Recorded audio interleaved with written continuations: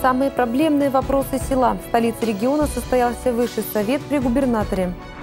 Будут резать. Бюджет округа ждет первый в этом году секвестр. С кого решено начать?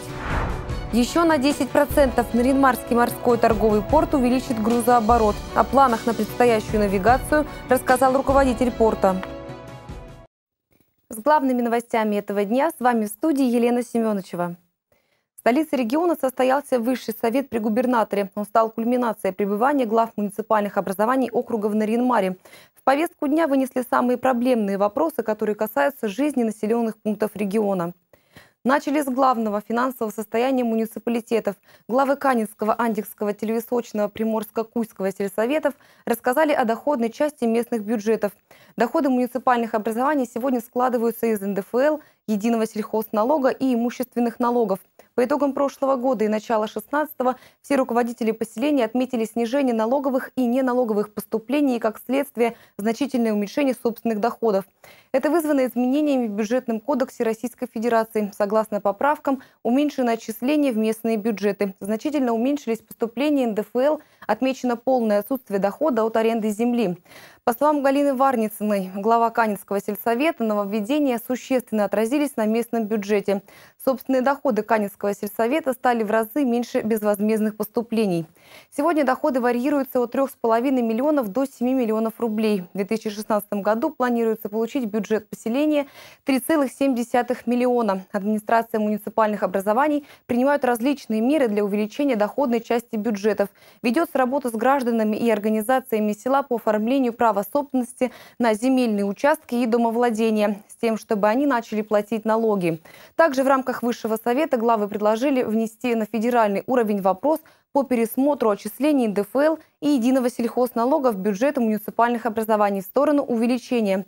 Кроме того, в рамках Высшего совета обсудили вопрос занятости сельского населения и создания дополнительных рабочих мест. Поговорили и о проблемах социального сиротства, заполняемости образовательных организаций, оказания медицинской помощи сельскому населению. В Высшем совете при губернаторе Ненецкого округа приняли участие 17 глав муниципальных образований, члены администрации региона, депутаты окружного парламента. Бюджет Ненецкого округа ждет первый в этом году секвестр. Соответствующие изменения внесла администрация региона. В ближайшие дни документ поступит на рассмотрение в собрание депутатов округа. По словам главного финансиста округа Татьяны Лагвиненко, расходы казны предполагается сократить более чем на 339 миллионов рублей или на 1,8% от ранее запланированных. Расходы снижены, в частности, на содержание органов государственной власти, содержание бюджетных и казенных учреждений, а также на бюджетные инвестиции. При этом доходы бюджета в новой редакции закона увеличены более чем на 100 миллионов рублей. Этому увеличению поспособствовали ассигнования из федерального бюджета, а также уточненный прогноз поступления налоговых и неналоговых доходов. Возможное выпадение доходов от Харьягинского соглашения о разделе продукции пока в проекте бюджета не учтено. Нарьинмарский морской торговый порт в предстоящую навигацию увеличит грузооборот. О перспективах развития предприятия и планах на период навигации главе региона Игорю Кошину рассказал генеральный директор Нарьинмарского морского торгового порта Ян Врублевский. В прошлом году предприятие переработало 134 тысячи тонн груза, что на 65% больше, чем в навигационный период 2014 года. По предварительным оценкам, в текущем году объем увеличится еще на 10%. По словам руководителя предприятия, в целом для стабильной работы и развития порта объемы перевалки и хранения груза необходимо увеличить до 200-250 тысяч тонн. Глава региона поручил Яну Врублевскому провести переговоры с потенциальными контрагентами и грузоперевозчиками порта, а также разработать гибкую систему тарификации для крупных перевозчиков. Своему профильному заместителю Игорь Кошин поручил организовать совместно с правоохранительными органами работу по борьбе с нелегальными причалами. По мнению Алексея Кайдалова, в необорудованных местах выгружают еще порядка 80-90 тысяч тонн различного груза. В 2016 году планируется начать реконструкцию порта. На данный момент определяется организация, которая разработает проектную документацию. Компании предстоит провести комплексное обследование всей территории, сооружений и комплексов порта, после чего разработать план по его ремонту и модернизации. Законодатели Ненецкого округа провели депутатские слушания по проблеме алкоголизации населения. По данным национального рейтинга трезвости, Ненецкий округ входит в десятку самых пьющих регионов. Как выйти из этого лидерства? В левой руке меч, в правой весы. Наринмарский суд отмечает свое 15-летие. Законодатели Ненецкого округа провели депутатские слушания, посвященные проблеме алкоголизации населения. Необходимость проведения слушаний по этой теме назрела в регионе давно. Подтверждением тому служат цифры. В округе на учете у нарколога состоят 813 человек. Из них 253 человека – женщины и два подростка. В прошлом году в ночное и вечернее время пьяные люди вызывали скорую помощь 1700 раз. 669 человек из них с травмами, полученными в результате алкогольного опьянения. По данным национального рейтинга трезвости, составленного по показателям 2015 года, наш округ входит в десятку субъектов России с самым высоким уровнем потребления спиртных напитков. Как отмечают правоохранители, наблюдается увеличение роста правонарушений в регионе, совершенных лицами, находящимися в состоянии алкогольного опьянения. В пересчете на абсолютный алкоголь каждый житель Ненецкого округа в год выпивает порядка 8 литров. По данным статистики, больше всего местные жители предпочитают легкие алкогольные напитки. Так, в прошлом году более 60% всего проданного алкоголя приходится на пиво. Это один из самых доступных напитков. Приобрести его в розничных магазинах можно в течение всего дня. Также доступен он и в различных кафе и барах. Поэтому одним из способов уменьшения количества пьющих эксперты считают сокращение часов продажи алкогольных напитков в увеселительных заведениях. Также в рамках публичных слушаний прозвучали предложения вести работу по пропаганде здорового образа жизни уже со школьной скамьи, а также более активно вести работу с теми, кто уже подвергался алкогольной зависимости. Об итогах и решениях общественных слушаний на тему алкоголизации населения смотрите в следующих выпусках новостей. Они носят мантии и принимают решения, от которых зависит судьба человека. Их главные качества – справедливость и беспристрастность. Судьи региона отмечают 15-летие своей деятельности. В далеком декабре 2000 года Государственная Дума по инициативе окружных законодателей приняла закон о создании суда Ненецкого округа. Сейчас в штате Фемида служит 41 человек, среди них 12 судей. В гостях у блюстителей закона побывала наша съемочная группа.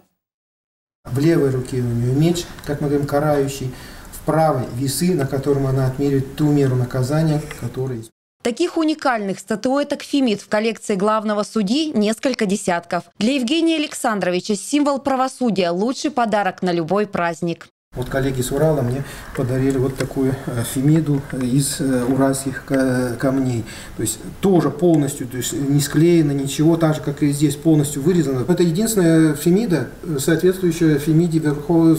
при Верховном суде Российской Федерации. Там тоже без повязок. Все с повязками, здесь, э, значит, ее нет. И она а держит... повязка на что?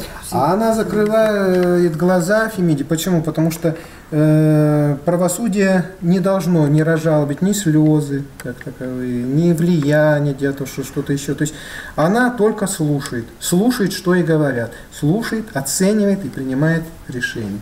Оценивать и принимать решения – это основная задача судей Ненецкого округа. А еще это большая ответственность, ведь от правильности решения зависит судьба человека. Был в судебной практике, в моей судебной практике случай, когда э, муж жестоко издевался над женой, Э, она не уходила по одной причине, что у нее не было близких, э, было четверо детей. И когда мы с ней беседовали, она говорит, а куда я пойду, кому я нужна?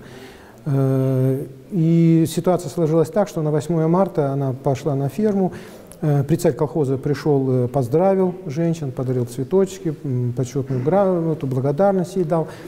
И она говорит, я пришла домой, а дома то же самое. То есть меня на работе считают за человека, а здесь за последнюю... Э, и опять пьяный муж, опять ругань, драки. И когда дедушка я от него убегала, он бежал за мной, он ударился косяк э, виском и упал. Случай, который описывает Евгений Мартынов, рассматривался в Холмогорском районном народном суде. именно там началась его карьера. А с 2009 года Евгений Александрович служит Ненецкому округу. В его штате числится 41 сотрудник. Среди них Елена Сухановская, помощник судьи, которая работает с первых дней образования суда. Иногда, конечно, бывает жалко стороны. Ну, не то чтобы жалко, но с пониманием относишься. Но в любом случае работаешь в соответствии с законом. Иногда даже бывает, э, приходит дело, ты с ним знакомишься, читаешь и понимаешь, что необходимо что-то еще, и чтобы докопаться до сути этого дела, конечно, даже в другой раз и ждешь быстрее следующий день, чтобы прийти, почитать что-то, найти нового, найти все-таки суть, как должно быть, как правильно Кстати, Елену Николаевну сегодня отметили грамотой на торжественном мероприятии. Также, кроме действующих работников, на празднике вспомнили и про тех, кто стоял у истоков создания окружного суда. Хочу с этой трибуны передать привет первому Э, председателю окружного суда Ольге Кондратьевне, потому что мы помним, что вся, вся история у нас начиналась на улице Рабочей, в тесных, неприспособленных помещениях. Современные служители Фемиды теперь работают в комфортных условиях. С 2014 года сотрудники переехали в новое четырехэтажное здание Дворца правосудия общей площадью более 6 тысяч квадратных метров. Дворец строился около шести лет и стал одним из самых красивых зданий Наринмара. Любовь Пермяко, Леонид Шишелов, телеканал «Север». Сотрудники МЧС по Ненецкому округу знакомят школьников округа с историей Чернобыльской аварии. К 30-летию атомной катастрофы сотрудники ведомства подготовили презентацию для школьников Нарьянмара. Знать и помнить своих героев. Сотрудники МЧС России по Ненецкому округу знакомят школьников города с историей Чернобыльской аварии. К 30-летию атомной катастрофы сотрудники ведомства подготовили небольшую презентацию, которую покажут на уроках мужества во всех школах Наринмара.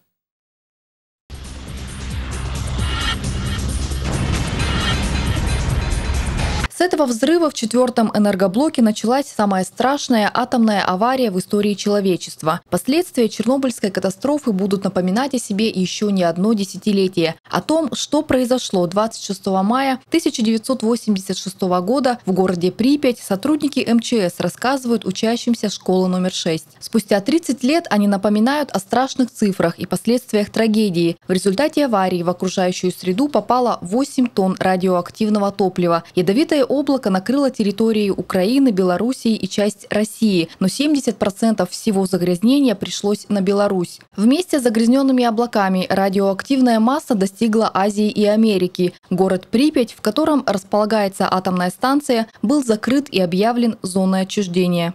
Сейчас, скажем так, это мертвая зона, где э, скажем так, никто не живет, там нельзя не выращивать э, никакие, значит, сельскохозяйственные культуры, собирать ягоды, грибы нельзя. По предварительным подсчетам, в первоначальный период времени где-то около 200 человек сразу же, потом еще где-то до 200 тысяч. Первую очередь погибли те, кто принимал участие в ликвидации аварии. Из 26 человек 6 раскончались в первую неделю. Их похоронили в специальных свинцовых гробах, так как их тело стало источником радиоактивного излучения. Всем участникам пожаров было присвоено звание Героев Советского Союза, Украины и России. Население, которое проживало вблизи АЭС, получило сильное облучение. Впоследствии это обернулось тяжелыми формами онкологических заболеваний и генными мутациями. Ученые говорят, говорят, что от радиации даже погибали овцы в Англии и олени в Лапландии.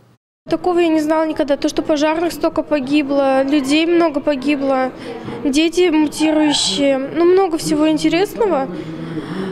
Но мне жалко людей, которые были вот там и потом погибли, но они ради других старались, чтобы спасти их.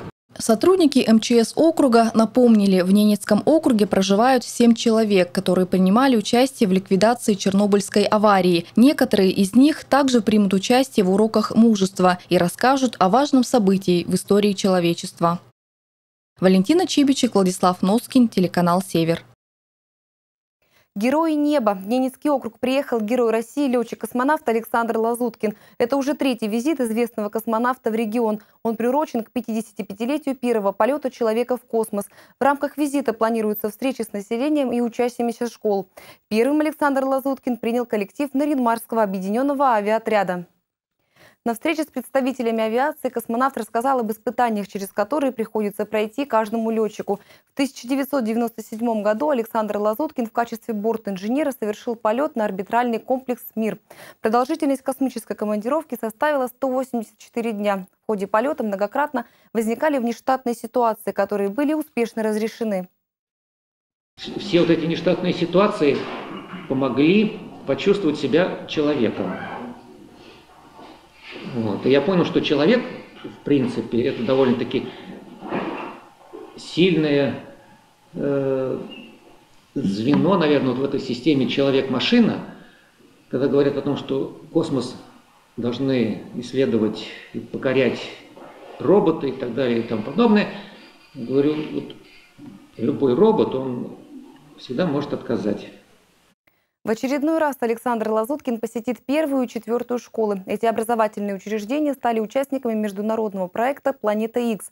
Проект был запущен в марте 2015 года на Международном форуме дружбы «Ненецкий округ. Ворота в Арктику». Цель проекта – выявить детей, которые хотят связать свою жизнь с космонавтикой и развивать в них эти способности.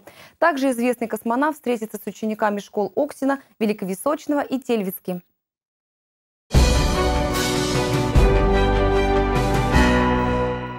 Две бронзы за бокс. Столько наград принесли в копилку Ненецкого округа участники первенства Северо-Западного федерального округа. Наш регион представили спортсмены младшей возрастной группы. Несмотря на юный возраст, они смогли показать мастерство и дать отпор противнику на ринге. 28 марта Илья Миненков и наша команда вернулись с первенства Северо-Западного федерального округа по боксу, который проходил в городе Петрозаводск. Илья Минков боксом занимается уже 6 лет. Из 18 проведенных боев выиграл 16. Впервые в Северо-Западном федеральном округе завоевал бронзовую медаль. Соперники были достаточно сильные, было очень их много, много ребят. Они все выступили достойно. Я провел два боя в, на этих соревнованиях. Один я выиграл, а второй я проиграл. Ну, первый бой был не слабый, не сильный соперник. Я с ним уже боксировал, уже его выигрывал. В соревнованиях приняли участие более 100 спортсменов из 10 регионов ЦЗФО. Победители первенства областей и республик по боксу среди юношей 2002-2003 года рождения. Наш округ представляли 5 спортсменов. Трое воспитанники Дворца спорта Норд, трое из Дюц-лидер. К этим соревнованиям ребята готовились целый год. В июне был сбор в горах. Осенью трижды ездили на соревнования в Усинск. Илья ездил на турнир Невского. На первенстве ЦЗФО двое наших боксеров заняли третьи места, а остальные проиграли в первом же бою. Ребята были подготовлены, в принципе, я надеялся, что-то будет даже лучше будет. Ну, так они выступили неплохо. И видно было, и школу работали. Ну, не хватило опыта. Вот, например, Филиппов, там у него попался левша, он пока пристроился с левшой. Здесь нету левши, а там пристроился уже бой. Ну, хотя бой такой не проигранный бой, выигранный. По мнению тренера, участие в таких соревнованиях – это хорошая школа. Спортсмены, с которыми наши ребята встречались на ринге, провели от 50 до 60 боев. Хотелось бы еще отдельно отметить о том, что э, на данный момент конкуренция даже в юношеском спорте, в олимпийском виде, да, э, э сильно возросла. И теперь, э, выезжая на каждый турнир, нам действительно приходится ощущать сильную конкуренцию со стороны других спортсменов. И э, даже в полуфинальных да, ребята уступили спортсменам, которые стали первыми на этом турнире, то есть победителям в равных боях. Наша федерация планирует подготовить ребят к следующему первенству СЗФО. Оно пройдет через год. Дмитрий Марков, Дмитрий Лукевич, телеканал «Север». К этому часу это все новости. Смотрите нас также на сайте www.trksever.ru. Далее информация от синоптиков.